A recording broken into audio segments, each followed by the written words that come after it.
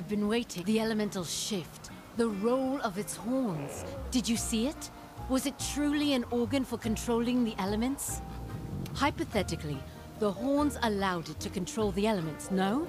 Or perhaps the horns were born out of necessity? And what is the source of its elemental power? If not a physical mechanism, is it something beyond the realm of our understanding? I understand you're exhausted, but please come with me. We have much to discuss. We need your thoughts on Alatreon while they're still fresh in your head, Hunter. Fresh thoughts deserve a fresh transcript, no? Hurry along now. Once everything's recorded, we shall hold council.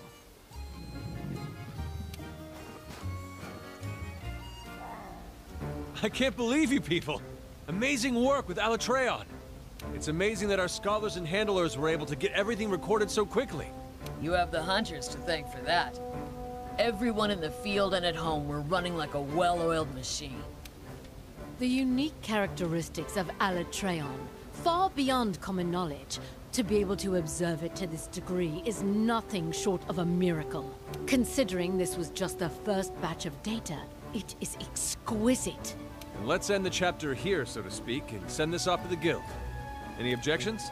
Well, I do have a proposal for you, actually, about future investigations. We need to figure out why Alatreon went to the secluded valley in the first place. Why would it go to such a remote place intentionally? Was it just by chance, or did it have a purpose? That's right. The secluded valley is also home to that red monster. I find it hard to believe that it went to pick a fight. There's gotta be a reason. Right. Which is why I think we should look into the connection between Alatreon and that red monster. And let the guild know we're going to continue investigating. Of course, it may be a long while before we uncover anything. Hmm. Okay. Your idea sounds good. Get everything ready. Way ahead of you. I'm almost finished. Then I shall take the responsibility of reporting to the guild. I'll let them know of both our findings and future plans. Understood. Thank you. Ah, that leaves one more thing left unattended. I hope we were able to get rid of that annoying fear of the unknown. Yes, but there's still much we've yet to uncover. We're just getting started. The path is long, but we'll get there. Well, you're right about that. Now let's wrap things up, people. Again, fantastic work. Rest up today. You earned it. Dismissed. Awesome work, dude. The field team leader's waiting. Let's check in. Good work taking care of Alatreon. I knew I could count on everyone. I've never experienced such power before. I hate to think what had happened if something like that showed up in the old world. Chief, I think we should warn the Guild about the growing number of incidents when we send off our next report. The Guild collects intel on monster behavior in each region, but they also gather disaster reports. We can send them what we have so they can prepare for a worst-case scenario. You've got a point. Make the necessary preparations. Understood. Oh, before I forget. Seems like the commander has returned to Astera. Really? He's back already? Hey, I got an idea. How about when you report in on the Alatreon investigation, you pester him until he spills the beans on why the guild summoned him? Do we really need to get in his business? Okay, okay. I'll give you the papers. Speak to the commander when you're ready. Hunter, I will be sending this off to the guild immediately. Hmm. I see. I suppose this is probably as good a time as any to let you know what's happening. The truth is, a large-scale joint operation between various countries and organizations has been in the works for some time. The Research Commission has been requested to join the operation. They believe our expertise with unidentified life and ecologies, and our outstanding record in the field will be an asset. Let's prove them right. Now then, we have a guest here in Astera that will detail the operation. Representatives from each unit will be in attendance. Of course, we'll need you there, too.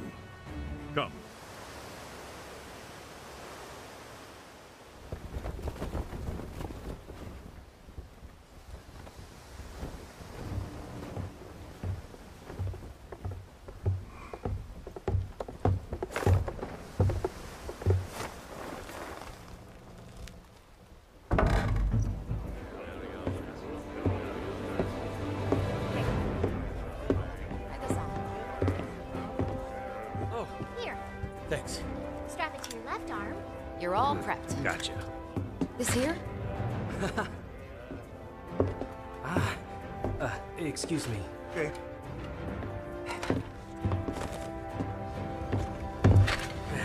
Ah, you ready? Never thought we'd be going back home, especially like this. Ah, so nervous? Leave you me, I get it. but my new friend and I will give you all the support you could ask for. Nothing's gonna happen to you while I'm around. what the? Okay, we know you're awesome. But I want to know what she thinks. Ah. Yeah, me too. Hunters, your attention.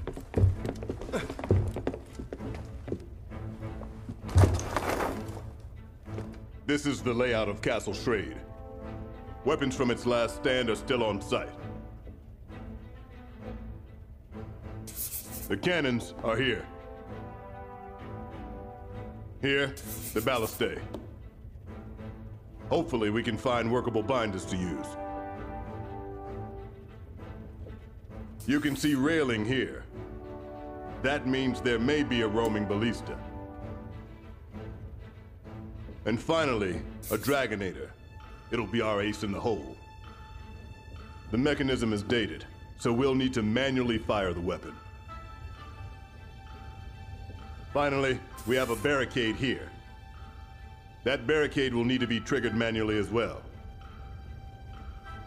This is where the lever is. We'll need it in case of emergency.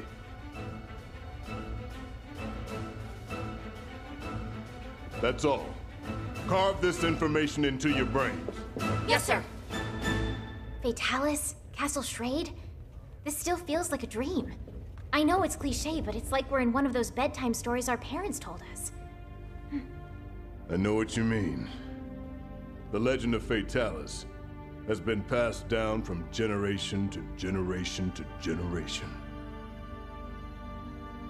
Many believed that the story of Fatalis and Castle Schrade was just a fable created after the fact. I never thought those legends would turn out to be true. The word Fatalis was never meant as a moniker for an actual beast. No, it was a word to describe an existence of some kind.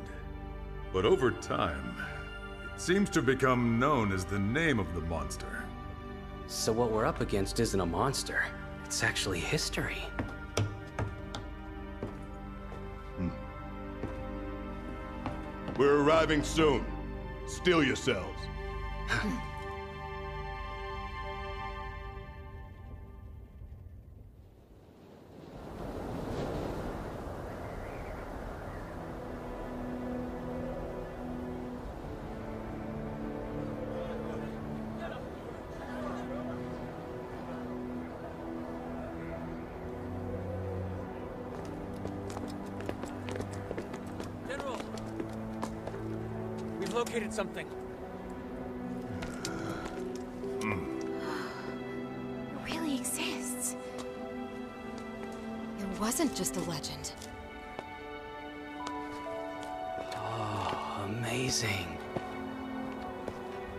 I. I don't know how to put it. But it's like. Somehow the past and the present meet up right at this point. However, that wasn't in the blueprints.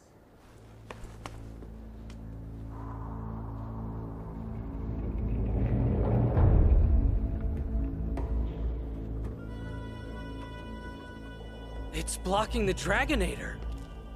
But then, we can't reach the ballistae or barricade either. Was it just slapped together? They fought back Fatalis and then propped it up? I see. So that means in the end, they didn't have time to use their Dragonator. They realized all was lost and abandoned the offensive. No. They most likely used it. They knew the stakes. They battled hard. defended their home, but were ultimately outmatched. They fought until the bitter end. If they just gave up, absolutely nothing would have remained once Fatalis was finished. Hmm. It was not my place to judge them. So then, what should we do? With that in the way, we can't use the Dragonator. Hmm. Let's tear it down. Hmm. Bring people in now. Our forces? I heard they're arriving shortly, sir. Good. They're quick. Once we rendezvous with them, we should have enough manpower. Don't forget about us. Since we brought the wing drakes, we decided to establish a camp up there. We'll need to update the maps, too. Hmm. What's wrong?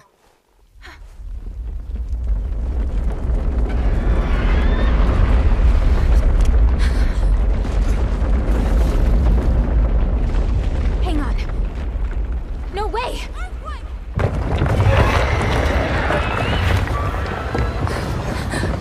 What? Already? Get out!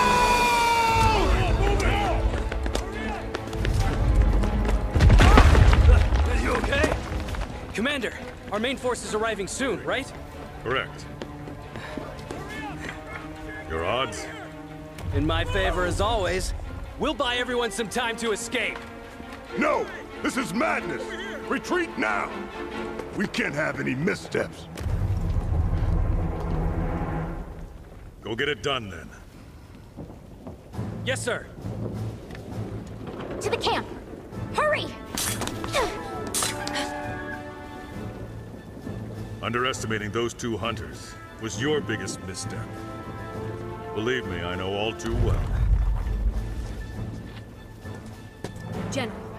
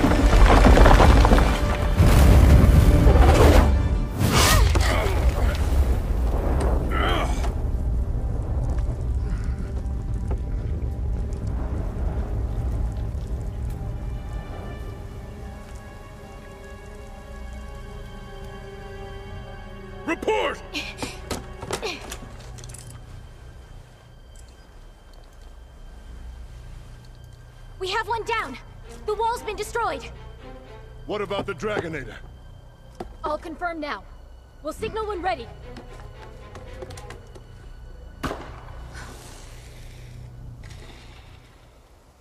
It's the Commission! They're finally here! Hmm. Those two hunters managed to buy us enough time. Now we have a glimmer of hope. We can't let it die. No time to waste. Hurry! Yes, yes sir. sir.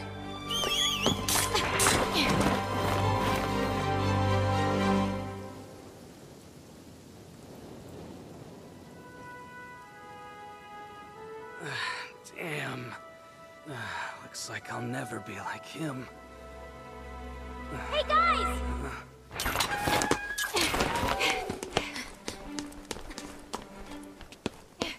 Two things. First, the roaming ballista in the barricade can now be used. The Dragonator's being prepped. When the time comes, make use of them. Second, the main group is here. We can now call for help.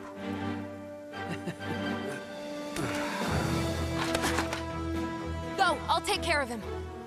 This thing is a reality, partner.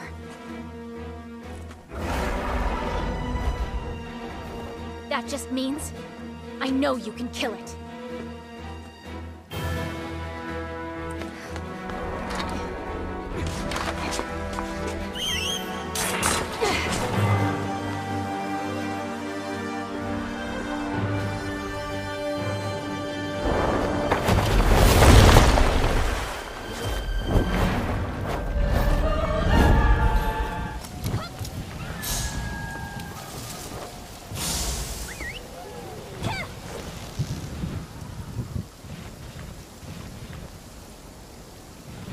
It's still a monster, so its head must be a weak point. The cannons up above should be able to hit its